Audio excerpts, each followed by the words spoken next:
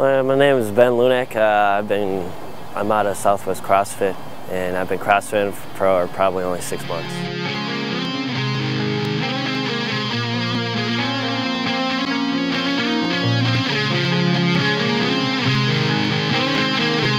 I was with uh, 3rd Battalion South Marines India Company, and uh, we're just on regular patrol in Ramadi, Iraq in 2005, February 25th of 2005, and uh, we got sent for, uh, we got called out to set security for this Humvee who just got blown up by IED, but uh, thankfully no one was hurt, but the Humvee was trashed, so we had to stop there, and I just had a feeling something bad was going to happen.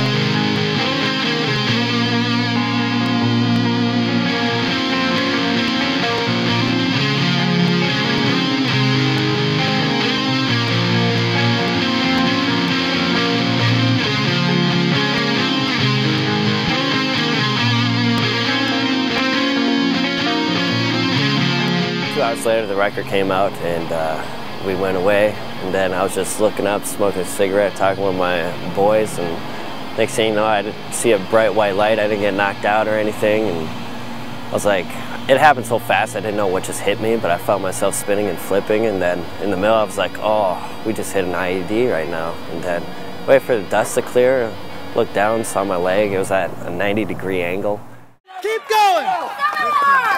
Keep going! Yeah! Come on, four. Let's go.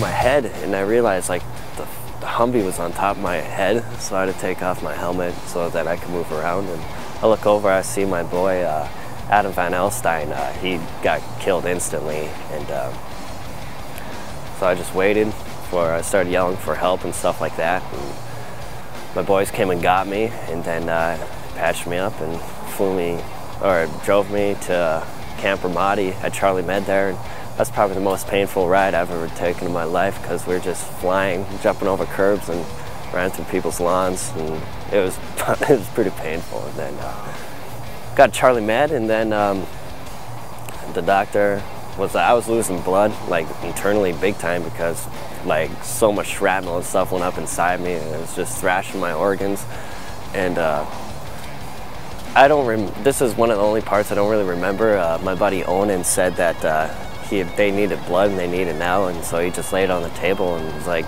take as much as you need. So they just direct ported blood into me from him, and uh,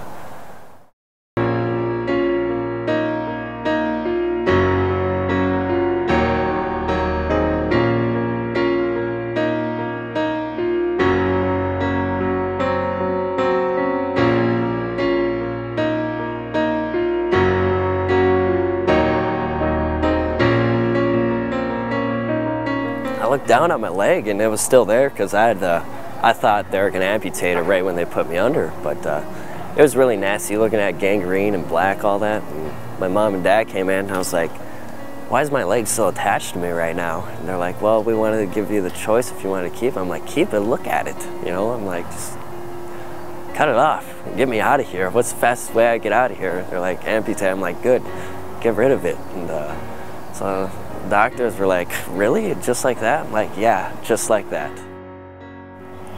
I think one of the main guys to save my life was Adam Van Alstyne because he got he, the blast, like he absorbed the whole blast because he was driving that day. And uh, the core, I don't know, there's so many people that came into play that day that all together they saved my life. And my team leader, Adam Zanudo, too, passed away on March 6th of 2007, and uh, so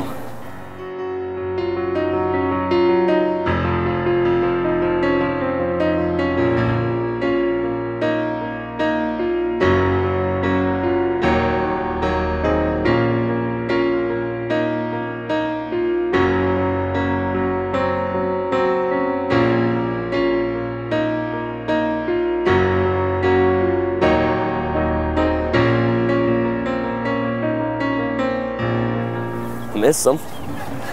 So, and it's because, excuse me, okay. he passed away on the 6th and I woke up on the 7th. So, I don't know if, uh, whew, I don't know if because of that, I don't know. It was just crazy because the doctors didn't know if I was gonna make it or any of that shit. So, but kept on fighting. So, So what drives you when you're out here doing these workouts? uh, just mainly like, uh, I don't know.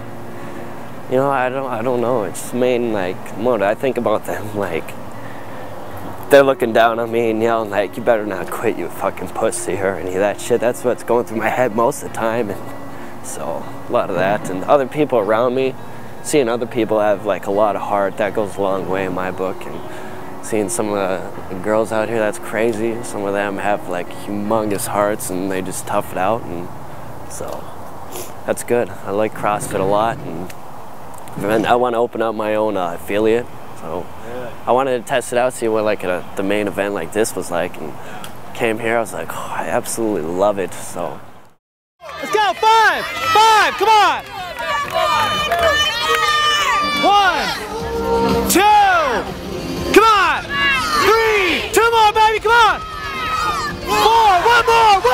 Come on.